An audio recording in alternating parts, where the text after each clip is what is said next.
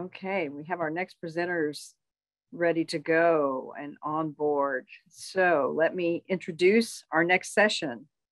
Um, and you all can, yes, un unmute and turn on your cameras. Okay, so first we have Dr. Janette Strasburger as a pediatric electrophysiologist from Children's uh, Hospital, Wisconsin, and her uh, nurse coordinator, Gretchen Eckstein, will they'll discuss some treatments benefiting the human fetus with FMCG. And we'll also hear from one of her patients and now a mom, Susie, Susie Burnt, Burnt, yes, share some of her perspectives. So welcome all of you. Thank you for being here.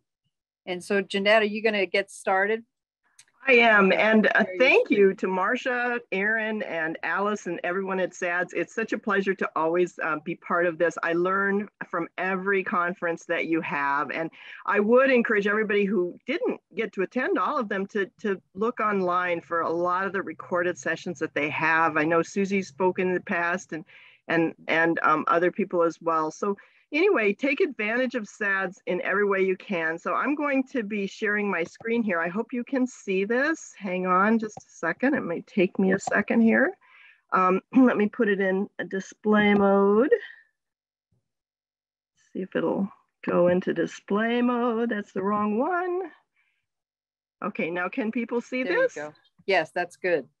Okay, so um, I'm going to be talking today about pregnancy and fetal MCG, which is a, a tool that may not be familiar to everyone. It's uh, similar to electrocardiography, so it's a safe uh, technology. I do have a few uh, disclosures. We'd like to thank the NIH and also the Dr. Scholl Foundation, who now and in the past have supported um, our work and have helped us with uh, patients from around the country who want to come and have this, te uh, this test done. As it is right now, we're expanding to um, other areas um, in, the, in the community for FMCG. Um, but we think that the future is still a couple years in advance before we are able to have everybody have FMCG in their own community. So in the meantime, at present time at least, we do have funding sufficient to provide uh, the test at free cost and also for patients who want to come, we um, do pay them for their participation and we also help them with the cost of airline tickets for themselves and the partner who comes with them. Um, I didn't mention uh, yet that um, one of the technologies um, called optically pumped magnetometry is not yet FDA approved. Um, it hopefully will be within a couple of years, but I'll show some examples of the tests that we've performed and talk about it a little bit. We're actually very excited because we were just invited to speak at a, a Zoom conference with a subcommittee at the FDA called the Quantum Subcommittee. And we were told that they think that this may be one of the most important advances in quantum science that have come about. And that could be really exciting for us. Um, so we hope you can um, learn from us. Um, first of all, when the heart um, activates with each heartbeat, it starts at the top and moves toward the bottom. And with each electrical beat of the heart, there's also a magnetic signal that surrounds the electric signal. Um, so that also passes um, in the direction as you can see with the thumb here. So it's a little different direction, but really the signals look exactly the same. And um, in Wisconsin, we at the Herma Heart Institute have been lucky to work with the medical physicists in Madison to bring forward technologies that support the community in general um, with um, long QT syndrome. Most of our work has been with long QT syndrome as opposed to Brugada syndrome or CPVT. We have seen some CPVT patients, but um, you have to have something on the electrocardiogram that we can look for. Um, or you have to have an arrhythmia in the fetus for us to be able to help. So not every patient needs to have this technology done, but it's certainly beneficial for patients with long QT syndrome, both for finding out if the baby has risk factors for arrhythmias before they're born and also to know if your baby does or doesn't have long QT because that can have influences as to where you deliver your baby, who delivers your baby. So, so I think this can be helpful to um, participate. As it is right now, we do it under a protocol and that allows us to cover the cost. And, and I think if you're wondering why it's considered experimental, we could be billing for this, but we know that insurances don't usually cover new procedures, as many of you probably learned from genetic testing. So as such, we've been able to hopefully, um, and hopefully into the future, cover the cost of this. We work with companies from around the United States, and we work with a company in, or with a, um, an institution in Germany, um, and and with uh, Dr. Cuneo in Colorado, and and hopefully soon we'll be expanding those numbers of um, institutions that we work with, but by working with these companies, we've been able to um, advance the science that goes along with it. So in a second, I'm going to introduce Gretchen, but let me just tell you a little bit about MCG. Um, we've studied over the last 20 years, almost a thousand patients. Um, it, it is not MRI. A lot of people think because the word magnet is in the title um, that it's it produces magnetism, but this is actually just a passive sensor actually emit any energy at all so it's um, safe in that sense. Um, we usually are able to give interpretations like the picture on the right upper side, um, that happens to be a baby with two to one heart block where there's two atrial beats for every ventricular beat. And in that setting, we're able to give those results right away to the patient um, at the end of the session. The AHA has looked at this and said um, in a scientific statement that the benefits outweigh the risks but unfortunately it's been trapped for 20 years in the base in the in a physics lab because of the cost. It, the setup is over a million dollars, and most hospitals just aren't willing to invest that amount of money.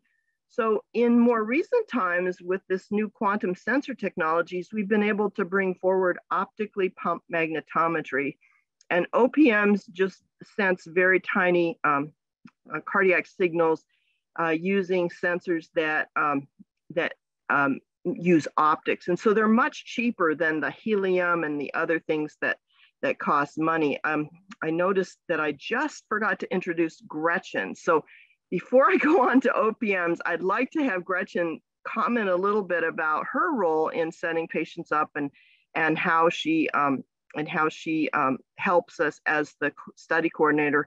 I also wanted to put a plug in because most nurses are not also writing papers, but Gretchen and um, her colleague, Mary Butler, just submitted a paper that will be beneficial to nurses um, who take care of high-risk patients like this. Um, to, and she submitted it to the Journal of Obstetrics and Neonatal Nursing. So hopefully that'll be coming out in the next year or so. Gretchen, you want to say something? Yeah, can, can you hear me okay? Yes. Yes. Okay. Well, good afternoon, and thank you, Dr. Strasburger, and thank you, SADS, for allowing me just to briefly introduce myself. But as Dr. Strasburger mentioned, I work directly with her on her uh, research project involving the fetal magnetocardiography. So I am available and love to work with families and educate them about our research study, about what participation may involve, um, I do a lot of the coordinating of the visits, working with Dr. Ron Wakai in the uh, physics lab in Madison. I um, help Dr. Strasburger with relaying results back to providers. I help with um, any coordination, any questions, anything.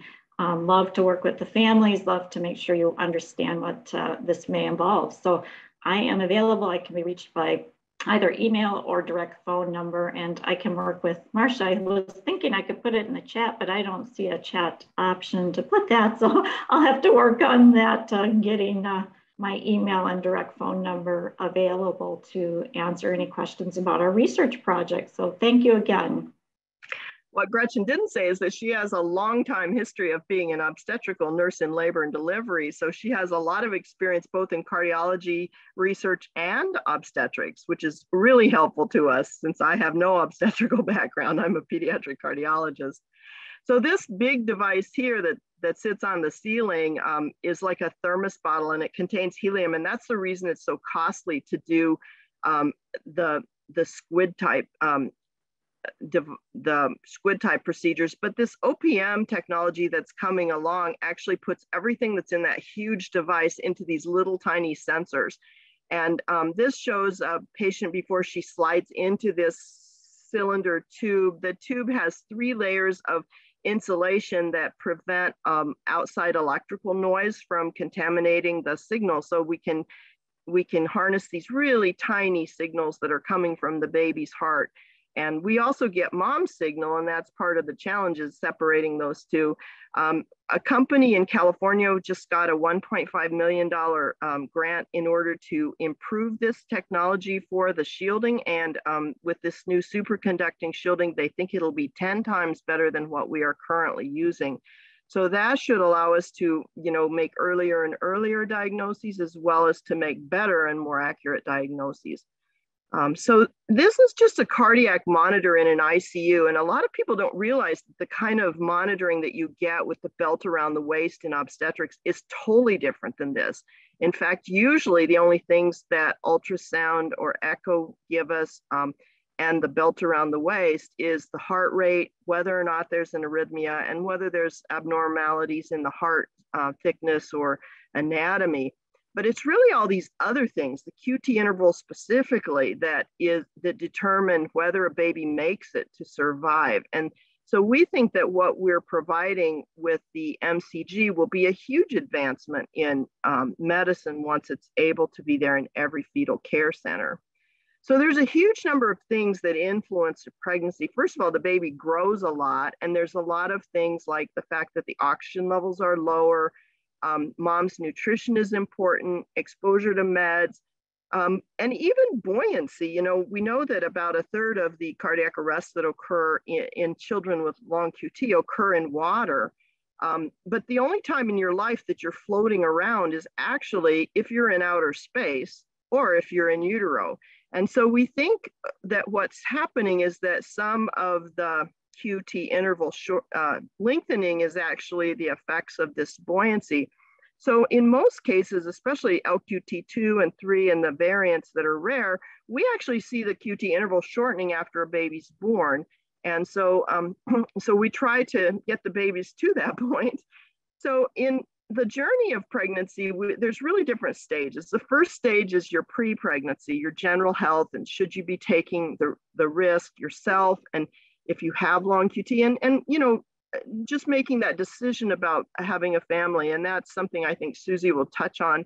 The genetic counseling is really important. It's at this time that you can determine whether the testing that you had done is adequate. Um, you know, maybe there's something that's changed. Maybe it's a VUS now instead of a, an actual uh, problem, and in which case maybe you don't need to be on a medication. But in fact, most patients are on medications and need to stay on their medications. And it's best not to change those medications in early pregnancy. It's best not to stop them for sure, but they're usually pretty safe. The beta blockers are used, you know, extensively for treatment of um, maternal conditions like high blood pressure and preeclampsia. So don't worry about your beta blocker. Um, it's best for you.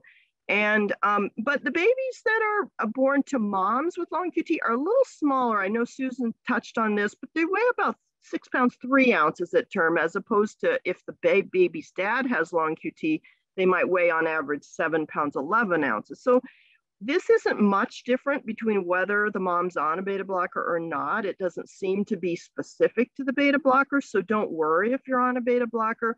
Some beta blockers, like mentioned earlier, Nadolol does have a little more effect on growth, but we're talking about minimal effects. Um, and, and obviously you need a care team that knows what they're doing. But if you're under that care, I wouldn't worry about it. Um, I, it's a good time to have your ICD checked in early pregnancy. During mid pregnancy, that's when we do the MCGs if you choose to have it done. It's also a time when your body's changing a lot and, and your body has natural minerals that prevent arrhythmias, uh, things like I'm sorry, I just hit the button. Um, things like magnesium and calcium and, and vitamin D's role is actually to improve the absorption of calcium and magnesium. So if you're low on those things, that can be um, proarrhythmic both for yourself if you have long QT and also for the baby if the baby has long QT. Late in pregnancy, things like medication um, increases may need to take place because your body expands by 40% with pregnancy. And a lot of that is the intravascular uh, volume of fluids. And, and so you may need adjustments in your medication upward. Um, not everybody does. Um, you have to decide, obviously, at that point where you're going to deliver and the timing of the delivery, and are they going to induce you or are they going to let you go into labor? So um, those are all decisions late in pregnancy to make with your provider. And then finally, there's the postpartum period and what we call the fourth trimester, which is the time in between pregnancies. And those are also very important. The decisions on breastfeeding, we, we touched on those. Um, I know there were a couple questions in the chat about both sotalol and uh, which beta blockers. Um, there is a difference in beta blockers in terms of how much gets into breast milk. Propranolol probably has the least effect on breast milk, but remember, propranolol is a short acting drug. So if you take that drug, you should be on the long acting form of it, not the short acting form. Um, it's probably better not to change uh, medications again at this point in time. Um, but it's up to you and your physician. There are some beta blockers that, uh, like Nadolol, that have a little more um, passage into the breast milk. Sotalol is also one that has some transfer into the breast milk, but these are both relatively safe. And we have patients who routinely take um, Sotalol, flecainide, or a beta blocker during breastfeeding. And, and in general, the first few days when you're starting breastfeeding, the, the baby can be monitored for side effects like low blood sugar or um, low heart rate. Those, those are not often seen. And when they are, they're usually pretty, um, pretty easily managed. So um, I would not worry about breastfeeding. One thing I would tell you though is that postpartum depression affects 10% of all pregnancies, and it is a time when um, you with postpartum depression it can affect your your short-term memory and when it does it can affect your ability to remember if you gave your medication to yourself or your baby so keep a calendar Re- remember that postpartum depression itself should be treated. It's dangerous. It can affect how you give medications to yourself and your baby. And finally, the medicines that were increased during pregnancy often need to be decreased during this time. So this is just a timeline for MCG. We can sometimes do it as early as 15 weeks, but the problem is before 27 weeks, if we're not looking for an arrhythmia specifically, we sometimes can miss a negative test. So if the test is negative, we may want you to come back after 27 weeks. But if it's positive, we're usually pretty confident that that's real. Now, um, over 27 weeks, we're almost 100% accurate in terms of, um, you know, being able to tell if a baby does or does not have long QT syndrome.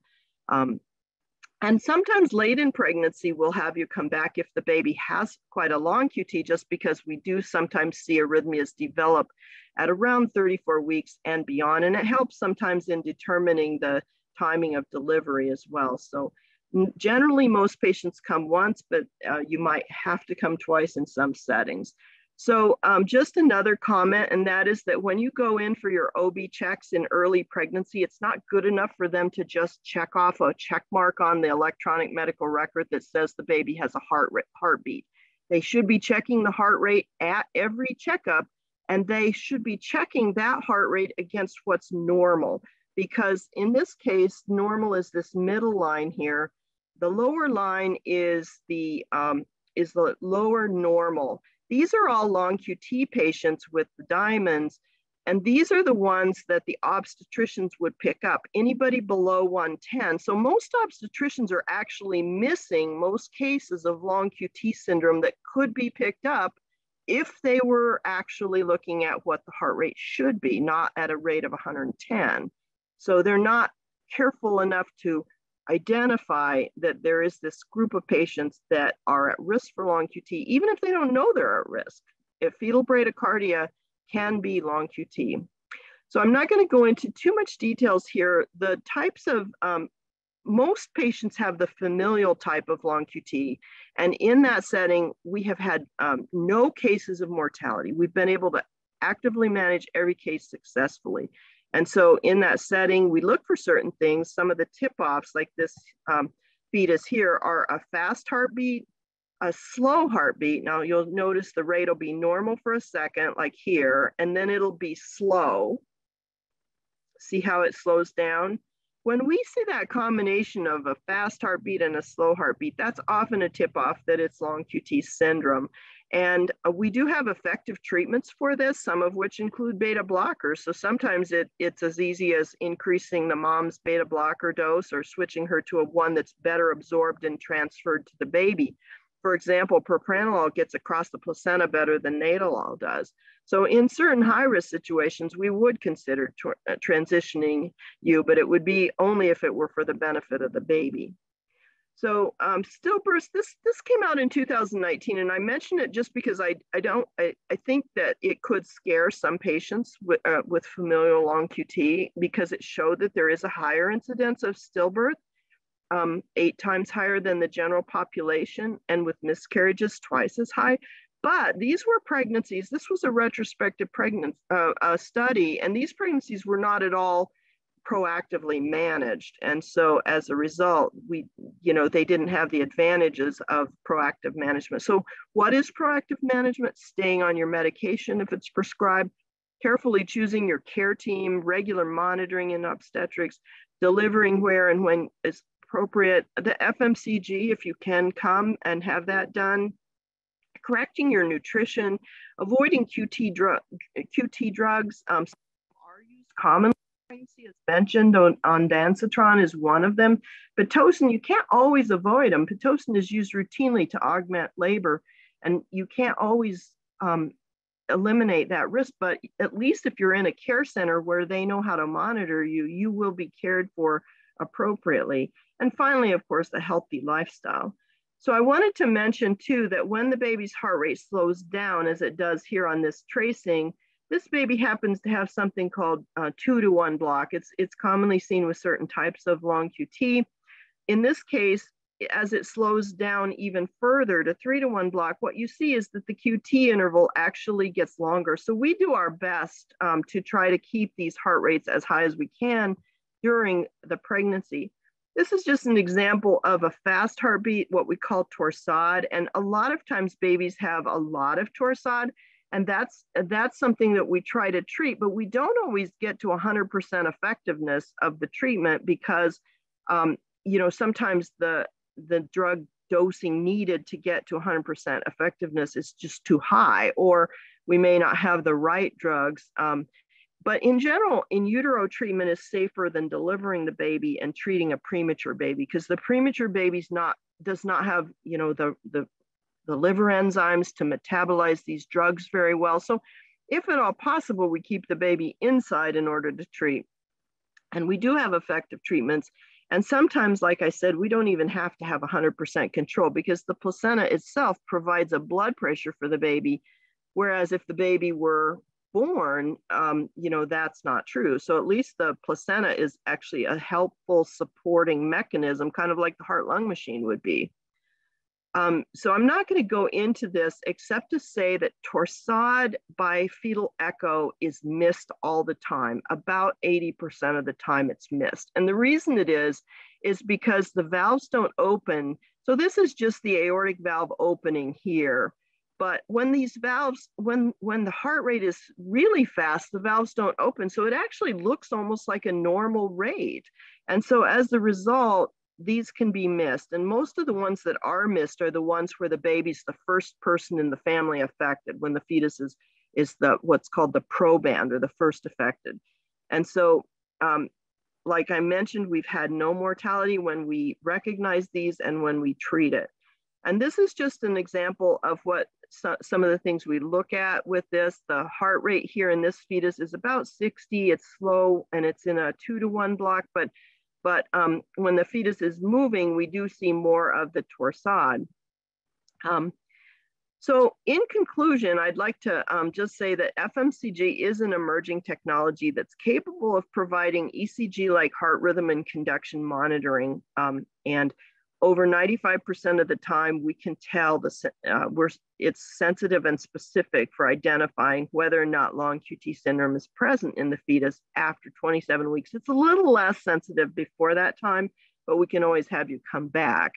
Um, and then participating in the long QT studies like ours will improve our ability to recognize and if needed to treat fetuses with arrhythmias. And sometimes we find arrhythmias we weren't really suspecting. So I'm going to turn it over at this point to Susie and have her talk about her journey through pregnancy because she did come and participate. And, and I think her story is one that is really um, inspiring for everybody. She's a great mother and a great person. So Susie, do you want to take over? Thanks, Dr. Strasburger. I appreciate that. I have to figure out how to stop sharing here. Okay, there you go. well, um, first of all, let me say that Gretchen and Dr. Strasburger are incredibly reassuring and know so much. And I learned so much about my pregnancy from them, um, in addition to my regular care teams that I had here in Michigan. Um, so I am, I have inherited, or I have long QT. I was de novo in my family. And so um, the technology that exists from when I was born 36 years ago to today is um, it's a staggering improvement. It's incredible how much how much more we know. Um, but that being said, I feel like um, pregnancy technology is still a little. It, you would expect more. You'd expect more at this point. And so Dr. Strasburger's study um, when I talked to them when I was first thinking about signing up and enrolling was incredible. The information that they can provide um, on this baby is is just amazing. What you can see. Um, and so anyway, we had our 20 week ultrasound with Gabby, our daughter Gabby, and everything looked fine as far as we could tell, um, but they couldn't get great images of the heart. And so they um, asked us to come back at 24 weeks, I believe it was. And so at 24 weeks, we had another anatomical scan and we got the images of the heart, and it looked like she was in two to one heart block. And um, she had a very low heart rate. And I remember the ultrasound tech at our local clinic very very quietly putting down the wand and saying excuse me for a minute and leaving the room because what she saw was was very concerning um, luckily, we had uh, a care team here in Kalamazoo that didn't immediately rush us to delivery. And I'm forever grateful for that, that they allowed Gabby to go full term with very close monitoring. Um, so, anyway, at that point, we were like, well, we're definitely going to Wisconsin to get this, this test done and to learn a little bit more information. And so we live in Michigan. And so it wasn't too too tough of a, a drive for us. I can't remember how long it was, but it was like my husband had been working the day before, so he had this next day off. And so we were able to kind of do a day trip and stay the night over there. Um, and Dr. Strasburger, I was actually just talking to Brad about it, and I was like, gosh, do we remember the details of this trip at this point? We're like, it's starting to be so much has happened between then and now but um, the machine itself is pretty impressive. You go into a room and it's like a metal lined room. And I was so grateful for that intercom that was in that room because it made me feel like I wasn't totally alone that whole time because it's it feels like a real sensory uh, deprivation tank kind of thing. And you go in there, you're laying on a bed, and it looks like this giant telescope is aimed at your belly. And you just, your job is just to lay still and relax which uh, is a little harder than it sounds sometimes. And, um, but they got the imaging they needed. And just like Dr. Strasburger said, we had results instantly. And we had a, a conversation at the end of that long day. And because they just wanted to get, they, they took as many images as they needed, as many, um, what did you call them? I can't remember. Runs, runs. Yeah, you got as many runs as you needed to um, kind of verify what you were seeing. And they saw that Gabby was was doing a lot of classic long QT and heart block and a lot of stuff, but in a pretty intense way.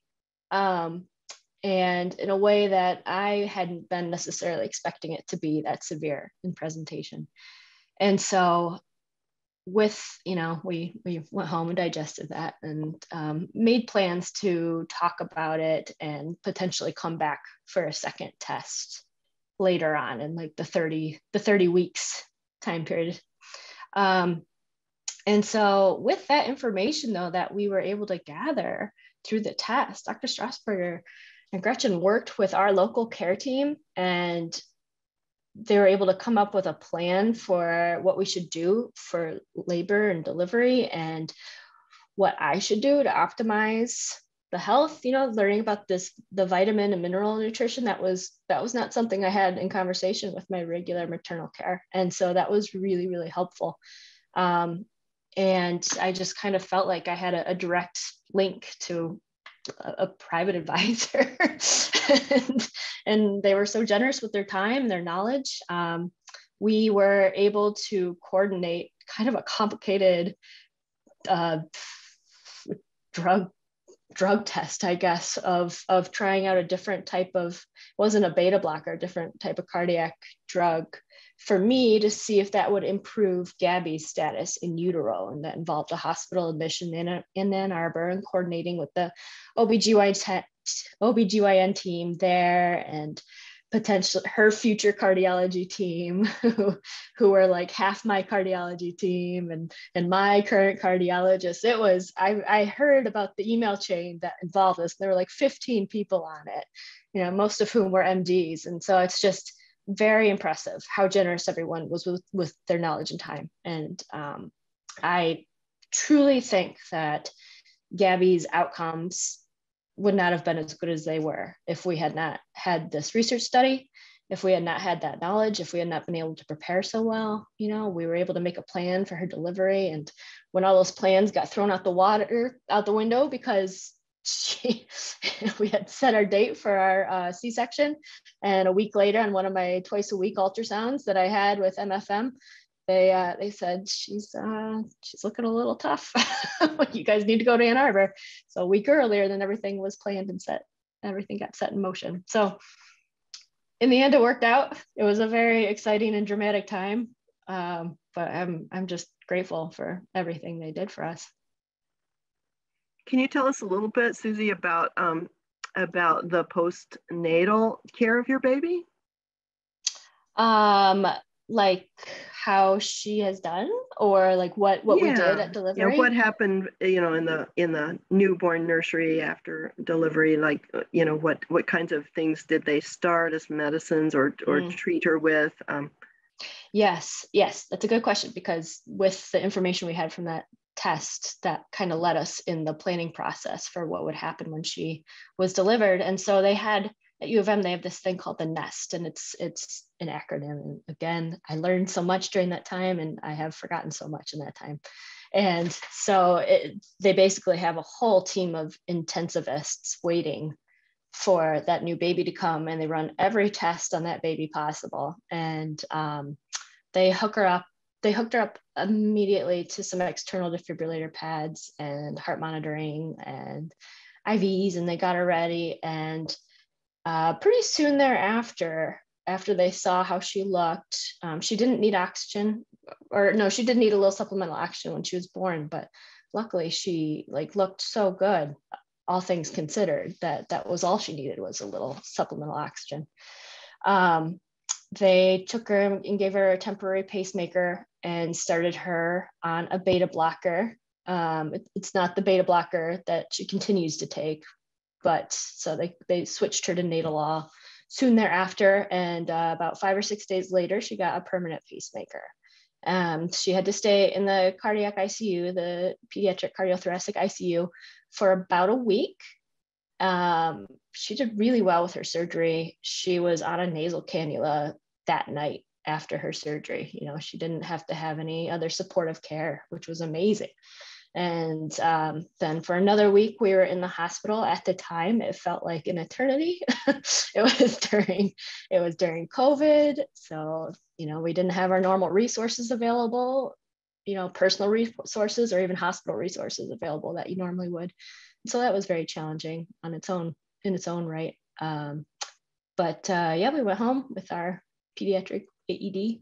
And um, we had a at-home nursing visit for a while just to monitor her because she made everyone really nervous for a while, but she's doing really well now. That's great.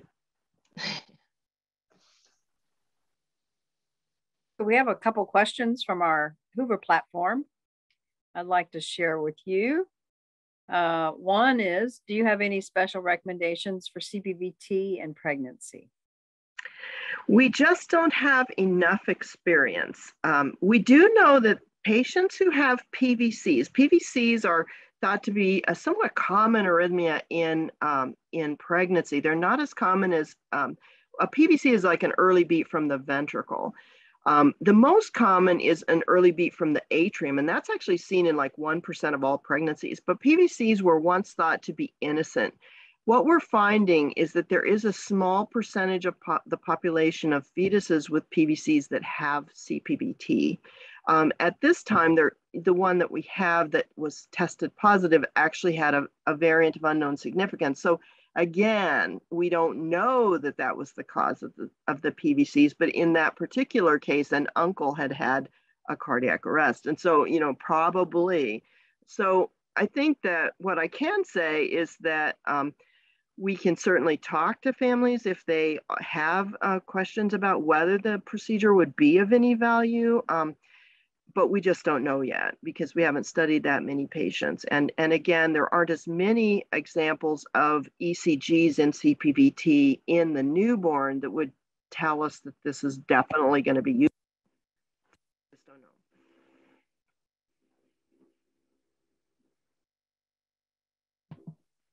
know. Okay, thank you.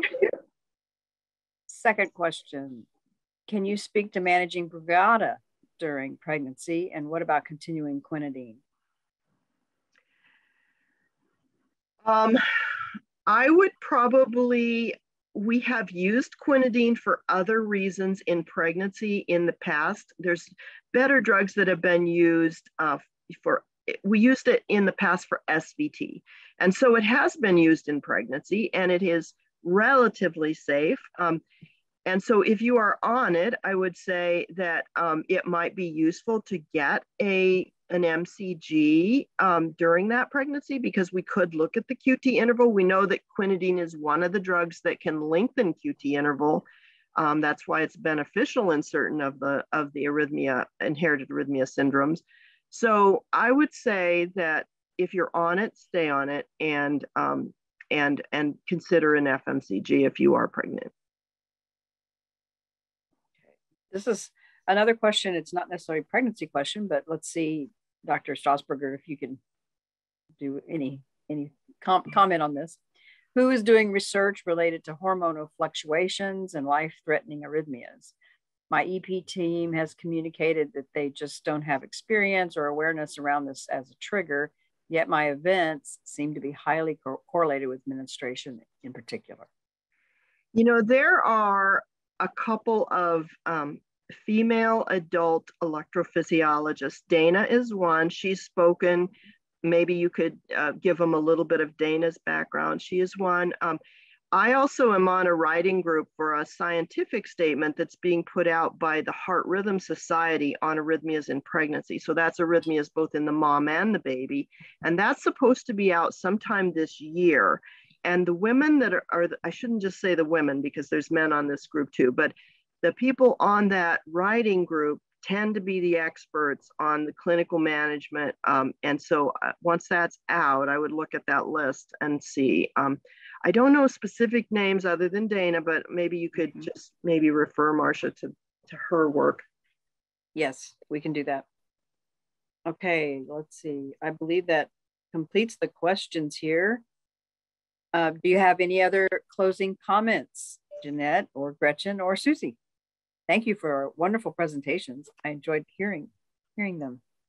Thank you. Thank you. And, and thank you to all who have participated. I see some names and some common familiar faces in the group of SADS attendees. And we we value very much the participation. About one in nine of all of the cases that come to see us in, in our programs are, are long QT or inherited arrhythmia syndrome patients. And so um, we have learned so much over the last 20 years, and I'm sure in 20 years into the future, it will be a totally different picture from what Susie experienced. And I'm sure, Susie, as I look at this, imagine what your mother experienced when you were young. So. yes, we had it a lot easier in that way. Thank you. Yeah, Thank thank you you. I don't have any additional comments, but thank you. Okay. All right. Appreciate your Yes. participation and presenting today. Thank you. And um, I want, I think we'll close out here, do our wrap up with the conference, the virtual conference.